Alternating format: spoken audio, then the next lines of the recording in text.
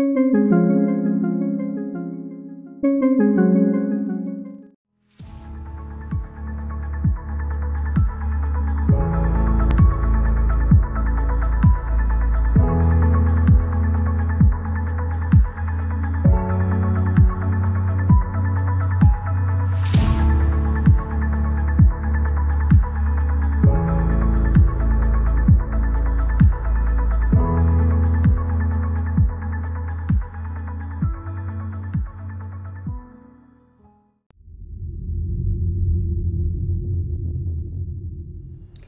Bonjour à toutes et bonjour à tous. Donc cette fois-ci c'est une vidéo sur euh, plutôt un rêve, vision, on sait pas trop parce que j'arrive pas à mettre de nom dessus. Euh, en gros une nuit euh, j'ai fait un rêve plutôt spécial.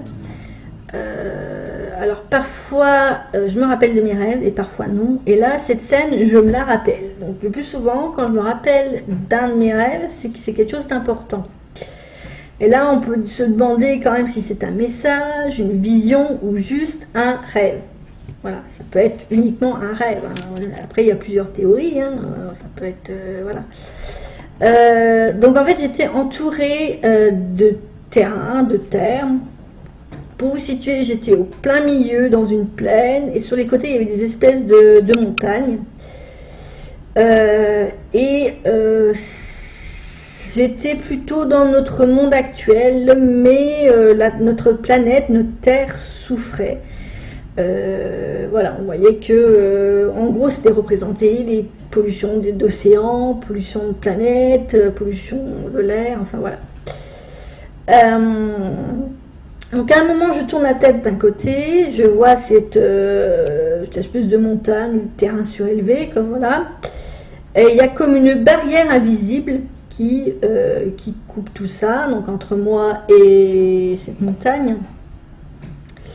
Euh, et en fait, quand on regarde ce qui se passe, euh, on, ça fait penser plutôt au passé. Donc, je vous entends les chevaliers, les, il y avait des, des châteaux. voilà, c'est vraiment le passé, comme si il y avait une grande frise en fait de ce côté-là et que je voyais l'histoire se, produire comme ça, derrière cette, barrière. Euh, voilà, et du coup, je tourne la tête de l'autre côté, donc pareil, une, barrière, sauf que cette fois-ci, ça représentait plutôt le futur. Donc, la logique veut que je sois présent, moi place au présent, euh, que d'un côté j'ai le passé et de l'autre côté le futur.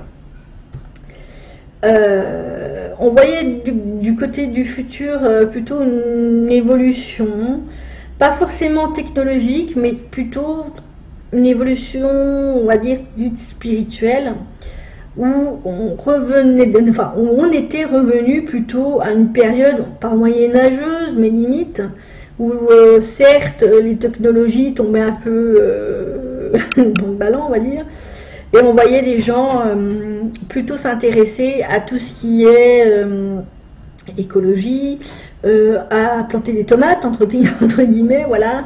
C'était plutôt du, ils étaient plutôt en train de, jardiner les, des arbres merveilleux, enfin voilà, c'était, voilà, vivre dans des maisons un peu en bois, enfin je sais pas comment vous expliquer, j'arrive pas à mettre de mots dessus, mais voilà, c'était vraiment comme si on vivait plus comme on vit au jour, au jour d'aujourd'hui. Hein.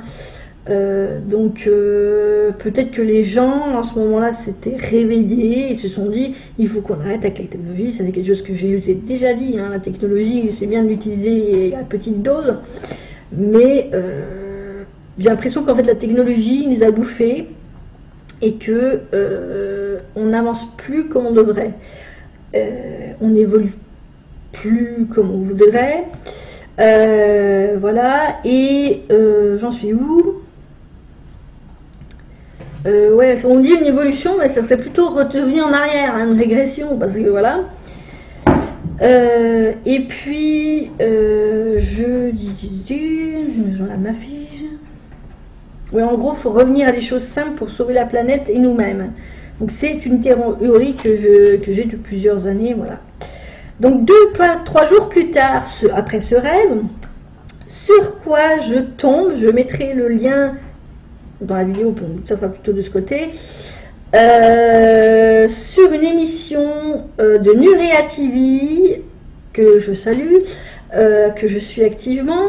Et ce jour-là, c'est Sylvain Didlot qui, qui est là. C'était une émission sur je sais plus quoi, enfin bref, c'est souvent qu'il fait des émissions sur Nurea TV. Et là, je me mets à écouter. Et là, je, me rends compte qu'il y a des concordances avec ce rêve. Alors, euh, ça m'a confirmé voilà, certaines choses, mais et euh, alors je ne dis pas que c'est la vérité, que ce soit sur l'émission ou, ma théorie, hein, pas du tout. Euh, voilà, c'est ma, théorie, la mienne, la leur, je dis pas que c'est the vérité, hein, parce que tous ceux qui disent c'est la vérité, c'est du bullshit, hein, personne n'a la vérité, d'ailleurs, tout le monde peut raconter ce qu'il veut. Hein. Euh, mais il y a eu beaucoup de synchronicité avec ce que moi je rêvais et ce que je pensais aussi, et euh, ce que euh, donc Sylvain Liglo racontait, et sur notamment des, des, messages que lui a été transmis via je ne sais plus quel ange, désolé, mais voilà, ça fait des choses quand même, synchronicité, des choses qui concordent avec les messages qu'il y a eu. Euh, ah oui, et j'ai oublié parce que j'ai vu que j'avais fait un petit astérix. Donc au moment où je vois euh, justement tous ces terrains autour de moi, je reviens à mon rêve, euh, rêve, songe ou ce que vous voulez. En fait, comme vous le savez, je suis activement aussi tout ce qui est tempête géomagnétique, la résonance Schumann et compagnie. Et en fait, je voyais le soleil, parce qu'à un moment je lève les yeux au ciel, je vois le soleil et je voyais le soleil envoyer des ondes. Mais comme, comme si. Comment vous expliquer? Ouais, des ondes comme ça. Et ça. Les on voyait les ondes vraiment s'étendre jusqu'à arriver sur la planète. Et euh, j'ai eu donc ce message.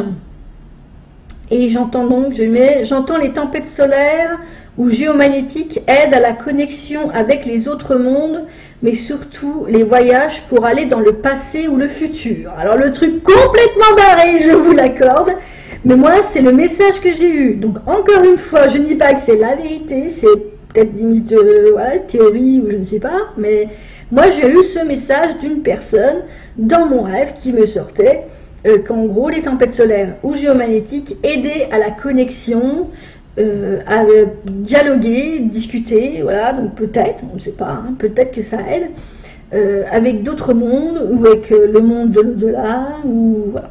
Donc peut-être théorie à essayer, pourquoi pas. Voilà. Je vous laisse avec ces infos. N'hésitez pas à me donner un petit commentaire ou à me dire ce que vous en pensez. Euh, encore une fois, voilà, euh, je ne peux pas dire que c'est la réalité, que ça va se produire, etc., que euh, du jour au lendemain, ça y est, les gens vont prendre conscience des choses et vont changer du tout au tout, ça sera étape par étape. Et je vous invite vraiment à regarder la dernière émission sur Nuria TV, donc je remets le lien au cas où, avec Sylvain Didlot. Franchement, écoutez les messages qu'il délivre. Je pense que ça va, ça va parler à plus d'un. Euh, je l'avais déjà mis sur euh, le groupe euh, Facebook, apparemment les gens sont passés à côté, donc je ne sais pas pourquoi. mais très intéressant et encore une fois, je dis, allez voir si ça vous parle ou pas, mais moi en tout cas ça m'a beaucoup parlé, ça a fait écho avec mon rêve. Et je me dis que ce n'est pas pour rien, d'ailleurs rien n'est un hasard, donc allez-y, allez le voir ou allez la voir plutôt cette émission. Et puis vous me direz si vous êtes allé la voir ou pas et ce que vous en pensez. Je vous laisse ici. Merci, à bientôt.